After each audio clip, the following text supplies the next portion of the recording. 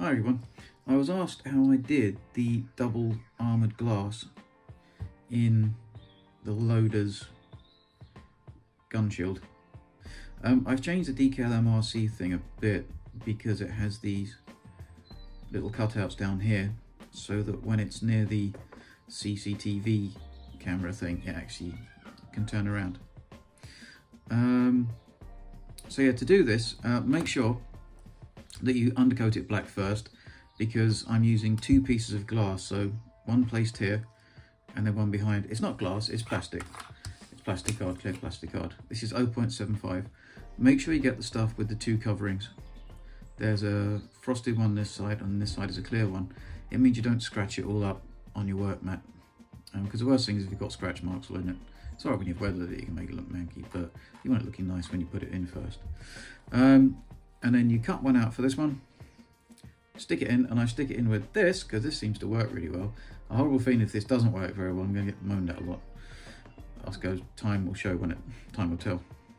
Um, and then you place another one in the back. Then it makes it look like double layered armoured glass, which I think looks kind of effective. And the measurements are uh, the width of it is 11.5 and the length of one of them would be 16.5 if I remember right. So it's, what's that?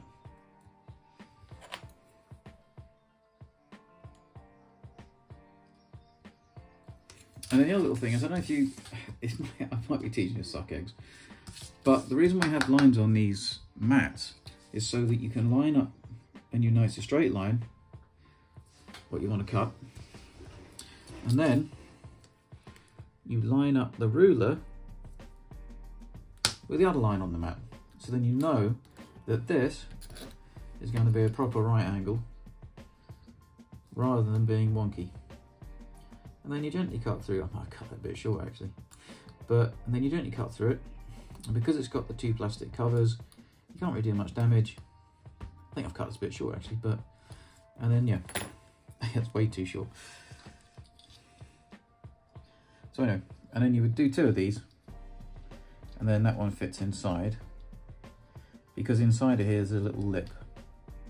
And then this one just pushes on, and if it's a, if it's cut correctly, it's exactly a tight fit. So anyway, that's how I did it. And like I say with this, it has two covers. You have the opaque one then on this side, there's a completely clear one. When you're putting this on the inside, you can keep the opaque one, make sure it's at the back, but make sure the inside one here um, is taken off. Because if you don't, and you forget, you won't get it out. I took them off of the front ones, front and back, because I'm just going to mask this so I didn't forget. And also, I could have left the opaque one here and then cut it out with a, a scalpel, but then you run the risk of cutting you can see a cut mark around. Um, so I didn't want to take the chance. But this one I left on until I glued it and everything on the opaque one. I'm going to mask this one off. I took the opaque one off because, to be honest, I want to see what it looked like. Anyway, look, have a nice Sunday, and I will see you next week. I'll put some videos up, uh, pictures up of how I did this as well at the end of this video. But thanks everyone. Have a nice Sunday. This is the inside of the gunner's shield. Can you see there's a lip which the glass or the plastic, clear plastic will glue up onto. Um, so it fits in there quite snugly. This is the star glue that I use for the, the nail things. It seems to do the job. If it doesn't work and it starts falling out, it's entirely my fault, you can blame me.